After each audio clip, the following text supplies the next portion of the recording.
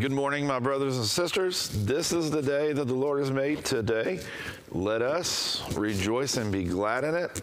My name is Joshua, and we, together with Grace United Church, are reading through the scriptures in two years.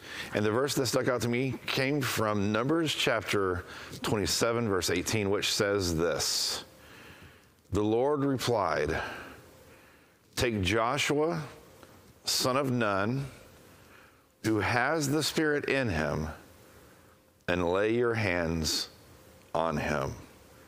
What I want to talk about is the Holy Spirit in our power.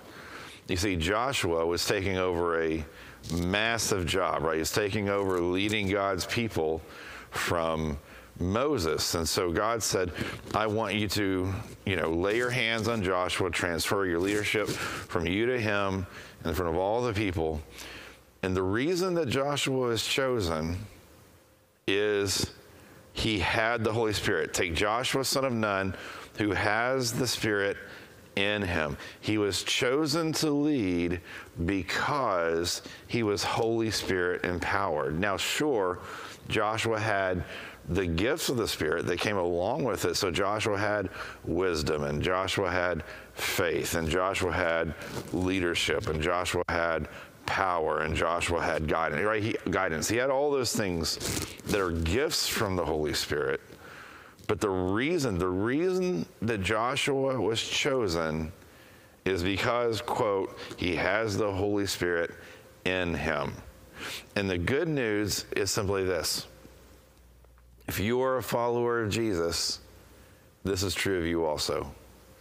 You are Holy Spirit empowered. And that's what sets you apart.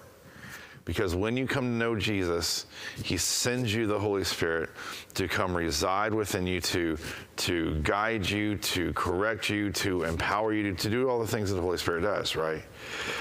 So, and it also just reminds us of His presence. God is always with you, He is always with you through the Holy Spirit.